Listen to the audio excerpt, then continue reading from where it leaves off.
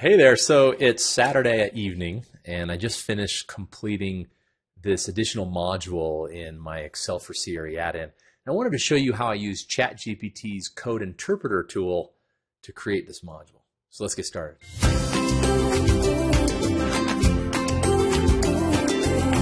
So if you're not familiar with the Excel for CRE add-in, it's a free add-in we created at ACRE. Basically, it it expands the functionality of Excel specific for commercial real estate financial modeling professionals. And it does a variety of things, which I won't get into too much in this video, but a new feature that I've begun to add is this, call it modeling modules. So imagine you've got a property level model, you want to drop in a uh, equity waterfall model. But what I'm doing is I'm adding those modules, which right now you can just download from our website in Excel format. I'm transforming them into, in essence, one click uh, add-in. So for instance, I come into modeling modules, I click the two-tier annual equity water, waterfall model, pops up and it asks, hey, do you want to do this? If you have a larger workbook, it can take a couple minutes to build. With, with this workbook here, where there's nothing in it. It's going to take just a few seconds. I hit yes. And then it asks me, hey, um, what would you like to name the new worksheet where the waterfall model will be built? We'll just call it, uh, I don't know, partnership cash flow. And it builds the module, right? And so here's some instructions I won't get into too much. But what you have here is a fully dynamic module, instantly built, simply with a one click. And how it was built is uh, some VBA code.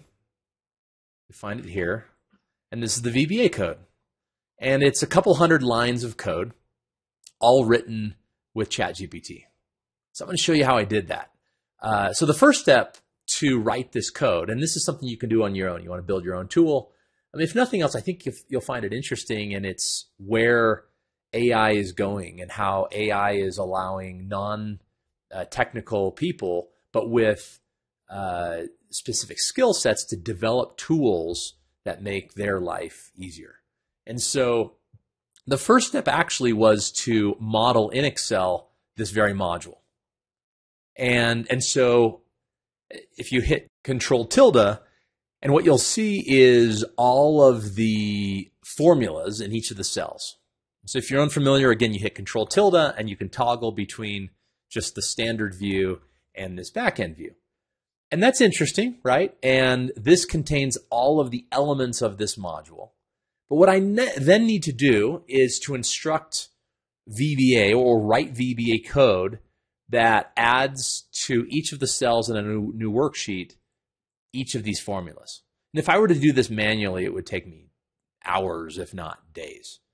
But what I did is I used Code Interpreter, uh, the add-in to ChatGPT, to basically read each of these cells, pull out the information in each cell, and then write the code for me.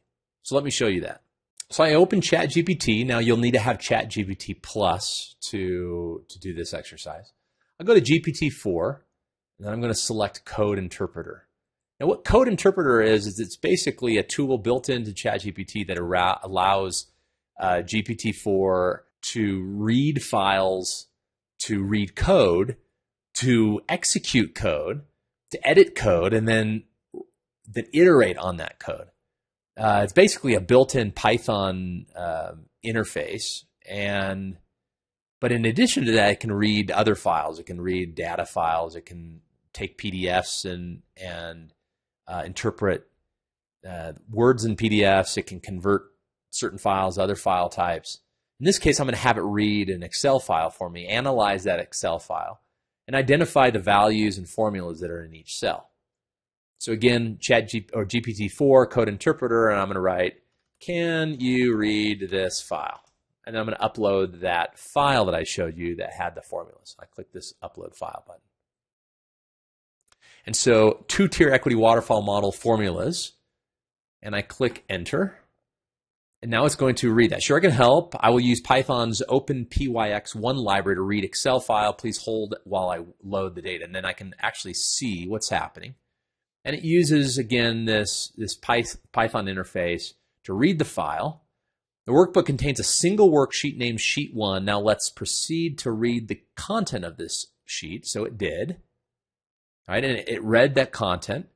The Excel sheet appears to be a financial model for a two tier annual equity waterfall, which is a method for distributing the profits from an investment between the stakeholders. Here are the first 10 rows of data. So it just kind of gives me some info.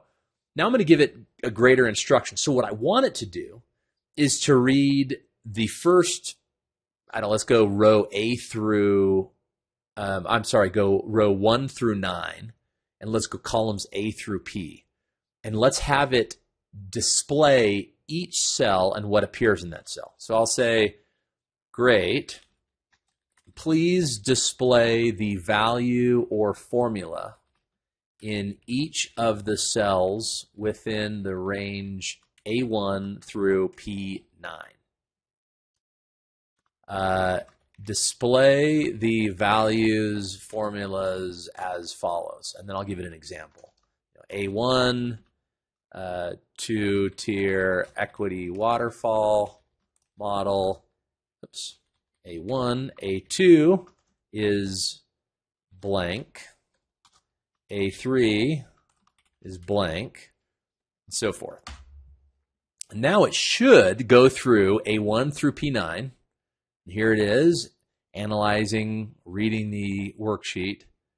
And uh, there you go A1, A2, A3, A4, A5, 6, 7, 8, 9. So those are the first nine cells down in A. B1 through 9 is blank. C1, 2, C3, C4, right? And notice how it identifies what's blank, identifies what has values, and so forth. Would you like the values or formulas for the rest of the cells in the range? Yes. We'll continue. Sure, here are the rest of the values. It's going to go through G, then it'll go through H, then it'll go through I, and all the way through P. Now you're going, okay, how, is this value? Well, there's a few reasons how this could be value valuable. I mean, imagine you you spit it, uh, you, you you provided a rent roll. You can analyze that rent roll. It can actually read every cell in your Excel workbook and then analyze those cells. And so you can prompt it to whatever degree uh, or whatever use case you see necessary. In this case, what I wanted to do is produce a VBA macro called a subroutine that will reproduce this. And then I take that subroutine and I, I add it to my Excel for CRE add-in, and then uh, from that you get that auto populate module tool. So I'm going to prompt it now. Excellent. Uh, now I want you to create an Excel macro that first creates a new worksheet and then populates that worksheet with the values in uh, as outlined above. Please um, produce each cell separately. Uh, let's see what it comes up with. Should write the code now for us. Sorry for any confusion with the AI developed by OpenAI. I don't have the capability to directly create Excel macros. However, I can guide you on how to create one. So now it's just going to write the code, which you know it's not quite. Yeah. Okay. Um, great. That is the start of the macro. Now write the VBA code to um, auto populate cells A1 through, what did I say, P9? Here's the VBA macro that would uh, populate cells A1 through P9.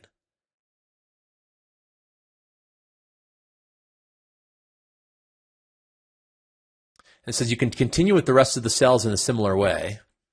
Please, please continue with the rest of the cells through P9. And again, now it's going to produce the macro. And the end result, so I only went through P9. Uh, the other thing we I haven't yet done is the formatting, but in essence, this is the process that I went through to build that tool that that I showed at the beginning of the video. It's pretty cool. Uh, let me know if you have any questions. Uh, I, am having a lot of fun playing around with ChatGPT, Code Interpreter, how we can use that for various use cases. This isn't specifically commercial real estate, but it's certainly a, a practitioner in commercial real estate who understands the use cases that they want, but maybe doesn't have the technical capability. Now does has their own software developer at their fingertips. Pretty cool. Let me know if you have any questions. Otherwise, thanks for your time.